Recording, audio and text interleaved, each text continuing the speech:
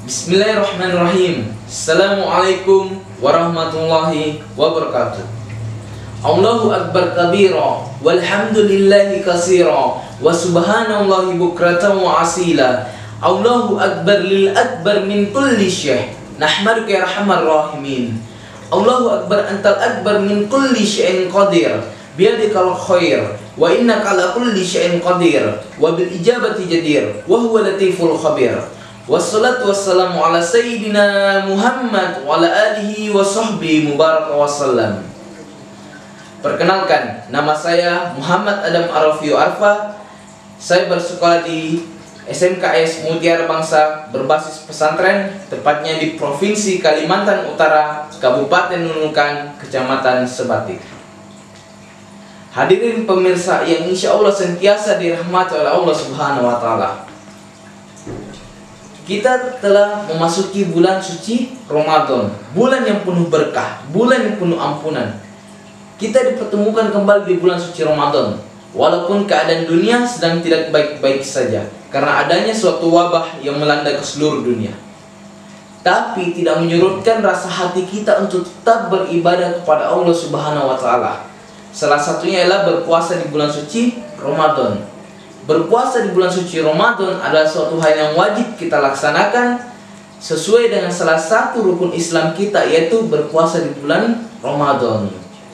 Allah Subhanahu wa taala telah mewajibkan juga kita berpuasa sebagaimana firman-Nya yang berbunyi Bismillahirrahmanirrahim.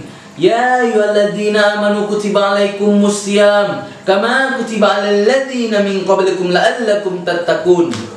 Hai orang-orang beriman, diwajibkanlah kamu berpuasa sebagaimana orang-orang sebelum kamu agar kamu bertakwa. Nah, mumpung masih dalam bulan Ramadan, saya ingin mengajak pemirsa sekalian untuk merenungkan bahwa kita itu dipertemukan bukan dengan bulan-bulan biasanya, tetapi bulan-bulan yang sangat-sangat istimewa. Ibaratkan kita itu kedatangan tamu yang sangat istimewa dan tamu itu paling disayang dunia dan alam semesta. Sehingga siapa saja yang memuliakan tamu ini menjadi sahabat baik tamu ini, maka dia akan menjadi istimewa juga di sisi Allah Subhanahu wa taala. Nah, 11 bulan telah kita lewati dengan berbagai macam-macam ibadah kita laksanakan selama 11 bulan lamanya. Tetapi apabila kita hanya melaksanakan satu ibadah saat bulan suci Ramadan, maka pahalanya bisa mengalahkan ibadah-ibadah kita selama 11 bulan lamanya. Nah, itu pentingnya Ramadan jamaah sekalian. Nah, pentingnya Ramadan itu bisa melipat gandakan kita punya amal ibadah. Pahala-pahala kita bisa dilipat gandakan di dalam bulan suci Ramadan. Rugi betul tuh orang yang meninggalkan amal-amal baik di dalam bulan suci Ramadan. Amal yang paling baik apa di bulan suci Ramadan? Adalah ikra'ul Quran, membaca Al-Quran. Fa inna ya'ti yaumal qiyamah. Quran ini akan datang pada hari kiamat. Syafi'an li ashabihi, memberikan syafaat. Jadi bacalah Al-Qur'an, baca Al-Qur'an. Kadang-kadang itu ada orang yang tidak ingin membaca Al-Qur'an. Kenapa? Karena dalam hatinya bilang, "Oh, saya itu tidak lancar baca Al-Qur'an. Saya itu tidak pintar baca Al-Qur'an." Segala macam dalam hatinya berkata. Jangan kau bersedih.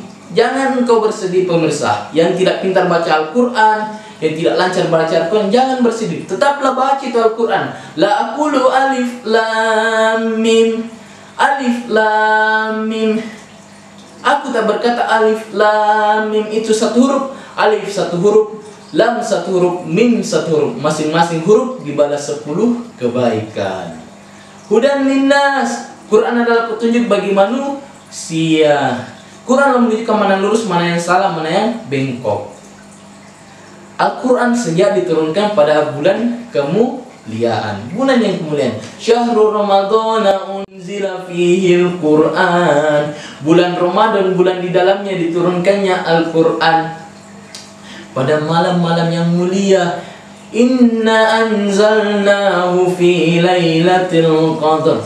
Wa ma adraka ma laylatul qadr Lailatul Qadri khairum min alfi syahr. Apa kamu tahu malam Lailatul apa itu malam kemuliaan? Malam kemuliaan itu lebih baik daripada seribu bulan. Sebenarnya Allah Subhanahu wa taala tidak ingin berkata seribu bulan. Tapi Allah ingin berkata Bilgoi risab yang tidak dapat dihitung kira oleh siapa pun atau manusia Luar biasa keberkahan di bulan Ramadan. Keistimewaan di bulan Ramadan itu luar biasa sekali pemirsa sekalian. Mau mendapatkan malam Lailatul Qadar? Mau mendapatkan pemirsa malam Lailatul Qadar? Ingin mendapatkan malam Lailatul Qadar? Kata Nabi, carilah di 10 malam terakhir Ramadan dengan memperbanyak ibadah-ibadah kita. Nah, memang mungkin bulan Ramadan masih ada di tahun depan, tahun akan datang. Lailatul Qadar masih ada di tahun depan, tahun akan datang. Tapi menjadi pertanyaan, apakah kita masih ada dia akan datang tersebut? Masih adakah kita nanti? Itu akan menjadi pertanyaan untuk kita. Jadi, perbanyaklah amal ibadah kita di bulan Ramadan tidak perlu diwujudkan dalam bentuk kata tapi diwujudkanlah dalam bentuk amal sekian dari saya wassalamualaikum warahmatullahi wabarakatuh